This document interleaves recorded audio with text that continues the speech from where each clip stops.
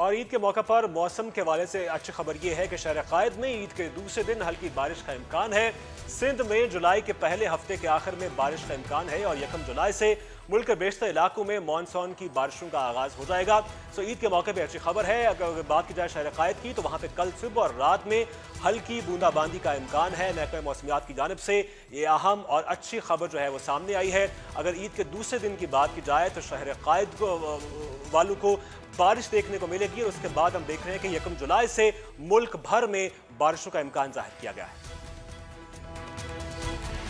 अब तक के लिए इतना ही